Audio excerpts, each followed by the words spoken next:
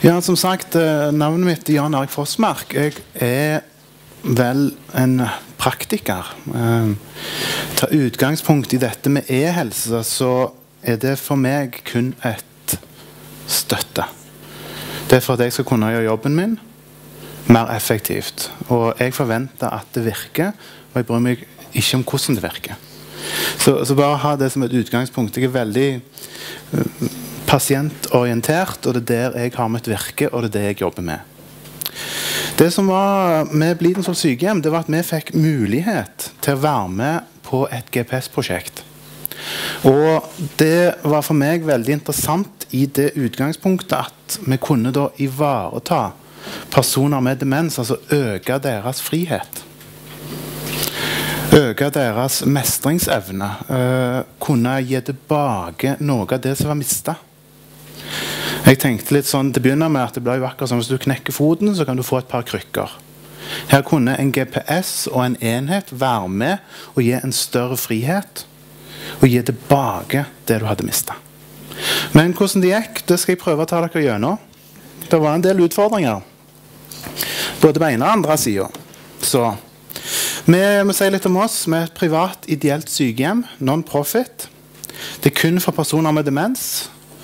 Vi har 58 heldøgnsplasser, 16 dagsenterplasser. 8 plasser for yngre personer med demens, og 8 plasser som er forsterka skjerma.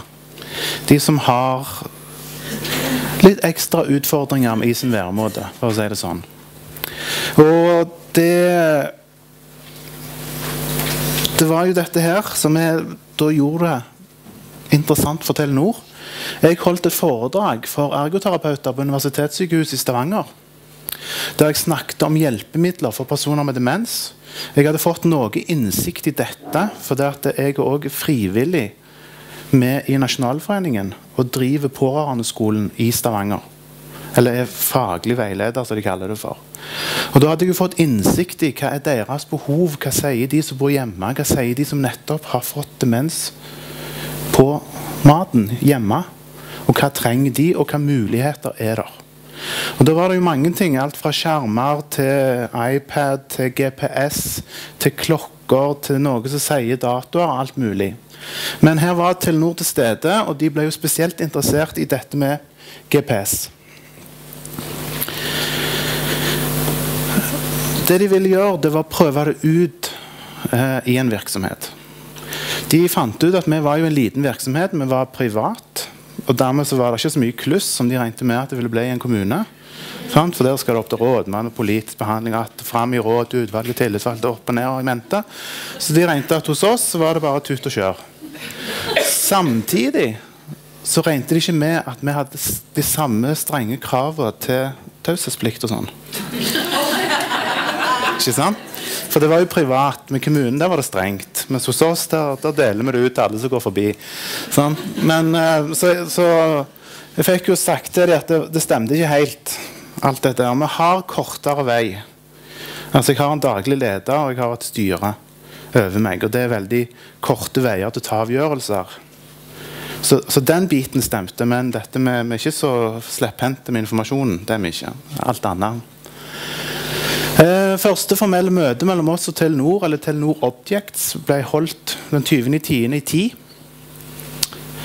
Vi sa at eh, på det tidspunktet så var det kun personer som hadde samtykkekompetanse, som kunne være med. Vi har mange som pga. store skader i hjernen sin mangler samtykkekompetanse. Og vi sa vi vil ikke være med og sette på de en GPS når de er ute og går. Det er ikke lov, og det er uetisk. De forstår ikke hva de er med på. Og det, Da ble de da enige at det var en av de premissene for at vi ville være med på dette.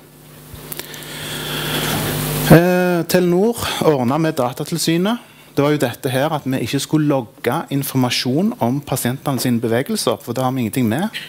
Vi er frie mennesker i et fritt samfunn, og vi har lov å gjøre og gå hvor vi vil. Og selv om du får en demens, så har du ikke mista den retten. Den retten mister du aldri. Og det var òg for oss uomåtelig viktig at dette ble ivaretatt. For det er jo en stigmatisering når en blir, får en demenssykdom, at en blir gjerne vi vil ikke gjøre det bevisst, men jeg får en litt mindre verdi Jeg snakker ikke til pasienten, jeg snakker til kona eller mannen. Jeg snakker over hodet på dem. Alle kjenner til disse her prosessene som skjer idet vi ser en person som oppfører seg eller er annerledes. Og dette voldsomme hjelpebehovet vi har, altså hjelpe folk i hele, det, det er òg en sentral ting. Eh, oppstart drøya fram til juni 2011. For at I utgangspunktet så var jo dette systemet basert på å spore konteinere. Og det er en viss forskjell på en konteiner og mennesker i atferd. Ikke sant? Så dette, det tok litt tid å tilpasse systemene og alt dette her. Men, uh, men vi kom nå i gang til slutt.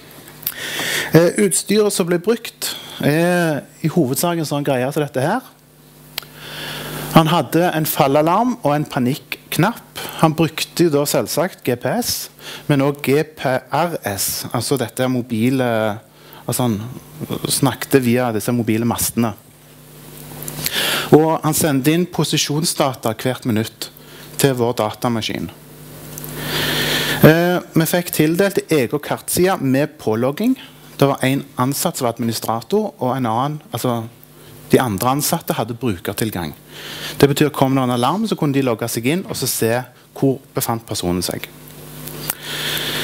Eh, alarm fra GPS-enheten aktiverte bilde og lyd på PC, samt en melding ble sendt til en sånn smarttelefon med at når du trykte på linken, så kom kartet opp på telefonen, og så så du på telefonen hvor personen var. Og Det betydde jo at da kunne du ta den med deg. For det er jo liksom Du ser på skjermen, og så skal du hoppe i bilen og kjøre av gårde. Og så beveger han seg, og så er det telefonering, så skal de prøve å beskrive kart. Så det, var, så det var en litt lur ting. Og pasientens bevegelser ble ikke loggført før alarm ble aktivert. Så da visste ikke vi hva den personen holdt på med før faktisk noe skjedde. Rundt sykehjemmet ble det oppretta to elektroniske soner. De så omtrent sånn ut. Vi hadde sone 1, så jeg der oppe med den annen. Det er der jeg jobber. Eh, og det var da gren selve grensen, eller eiendommen til sykehjemmet. Vi valgte å lage en litt liten sone fordi vi ville se hvordan teknologien fungerte med disse her elektroniske grensene. Jeg liker bedre å kalle det elektroniske soner enn elektriske gjerder. ikke det du sa? Jo, Det høres jo litt mer skremmende ut. Det er det du har med kyr vet du. Eh, og så hadde vi da en større sone som omfatta turområdet i nærheten. Så her er jo Vannassen et nydelig turområde. Mate ender, og du har skog og mange muligheter. Og så grenser vi det opp mot motorveien. Og Da fikk vi melding når de gikk ut av sone 1, og vi fikk melding når de gikk ut av sone 2. Ut av sone 2 så kunne vi begynne å da åpne systemet for sporing. Men det er at eh, når de gikk ut, altså det kom en SMS, pasient ut av sone 1, inn i sone 2. Men uh, om det var nødvendig, ja, det kan vi diskutere. Men det var jo en utprøvingsfase. Altså, hvordan skal vi sette dette opp? Positive effekter. Det at det ga uttrykk for økt frihetsopplevelse, livskvalitet og glede. Eh, de ga veldig uttrykk for at det ga en trygghet å få dette med seg, denne her dingsen. Utfordringen var jo informasjon. Alltid informasjon. Hva skal vi tilpasse informasjonen? Jeg kunne jo forklart denne dingsen på en så avansert måte at de ikke skjønte bedre. Men jeg tenker her er det å tilpasse seg pasientens situasjon. Så det vi sa at denne her dingsen, hvis noe skjer, så sier han ifra da hvor du er. Og jeg oppfatter at det er tilstrekkelig informasjon. De trenger ikke å vite at ja, det, den blir aktivert hvis det skjer, så går det et signal den veien og den veien, og så piper det på skjermen vår. og sånn. Det er helt irrelevant, og de kan ikke forholde seg til denne type informasjon. Og det er plenty nok å vite hvis noe skjer, så finner vi oss ved hjelp av denne. Og Selv det er jo en utfordring for personer med demens å huske. Sånn, men da har vi i hvert fall det samtykket. Igjen så har vi jo i vårt tilfelle de kan gi samtykke når vi forklarer det. Ja, ti minutter seinere altså, det, det, vil jeg ikke ha. Så har de tatt fra samtykke igjen. Sant? Men det er jo en sånn evig utfordring som vi har i demensomsorgen. Det ser vi jo med tvang og beskyttelse òg. Fra det ene øyeblikket et beskyttelsesvedtak til pasienten gjør motstand, så er det plutselig tvang. Hvordan skal vi navigere i, i mellom disse lovverkene med personer som har 100 rett til å bestemme over seg sjøl, men pga. sin kognitive svikt gjerne ikke kan opprettholde sitt samtykke. Men det er nok en utfordring vi må leve med. Spesielt menn var stolte over å bruke den enheten. Det var jo sånn. Ja. Ja. Eh, damer var ikke like opptatt av det, men, men de syntes det var greit. Men det, det, var en veldig kjønnsforskjell på at dette var stort. Personalet var trygge når de var ute på egen hånd, i og med at det var et system som passet på. Utfordringer. Skal jeg ta kort innom det? Evnen til å lese kart og finne personen. Er vi så dyktige å lese kart? Sant? Alarm går, det kommer opp et kart. Sant? Og problemet er du ser personen. Men hvor er jeg hen i dette kartet? Sant? Ja. Og, og så, sånn holdt vi på. Så? Og jeg, er ingen fjellperson, og, og, dette å finne fram var en uh, utfordring. Dette med datautstyr, nettbaserte kart, smarttelefon, alt dette her teknologiske. For mange er sånn som meg, det er bare et hjelpemiddel de trykker på den knappen, for det står det på bildet som har tatt sånn printscreen. Trykk på den knappen, så gjorde de det, og så ble det ikke som forventa. Og så, så detter alt sammen, og så er det bare tull. Sant? For da, vil vi ikke mer. Og mange helsepersonell, og litt i meg òg, er av den kategorien. Vi er ikke interessert, bare vi skal trykke, da skal det virke. Nå skal vi ikke begynne med masse nye begreper og, og skrive ting. Det skal bare virke, så skal en gjøre det vi vil. Den skal forstå oss. Det er jo det vi vil. Det var litt sånn teknisk svikt, tap av GPS og GPRS-signal. Dette med rutiner for vedlikehold, oppbevaring og lading av enheter.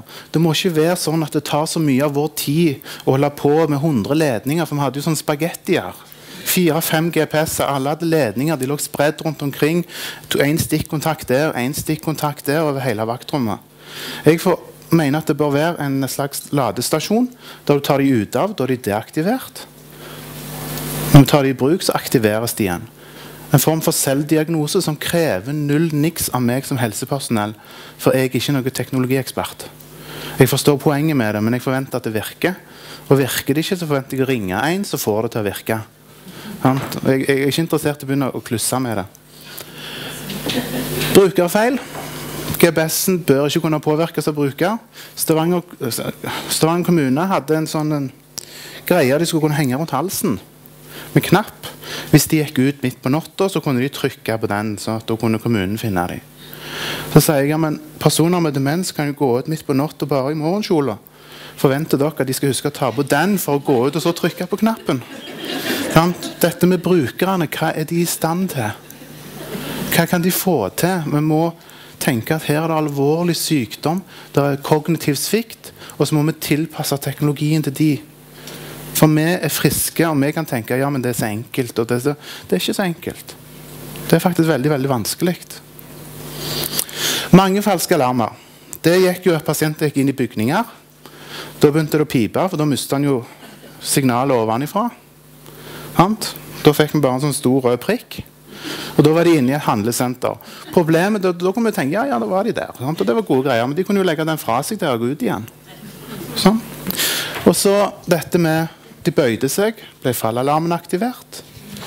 De gikk for nær grensen på sonen. Og GPS-en er jo ikke 100 så plutselig så hoppet han litt, så var de over, og så peip det.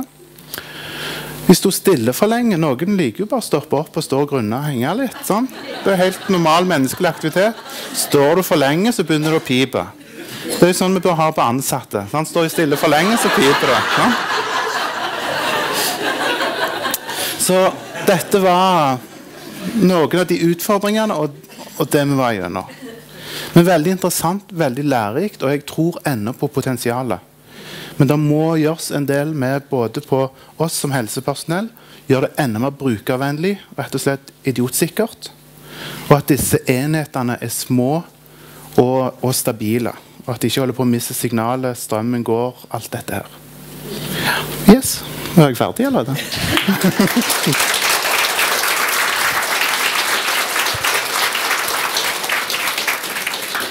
Da var du ferdig, ja. Det må kalles et underholdende bidrag.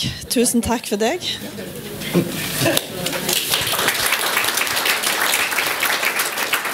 Da er vi gått langt utover tida, så det blir en kjapp pause, fem minutter. Så må dere være på plass igjen. Det er strengt i dag.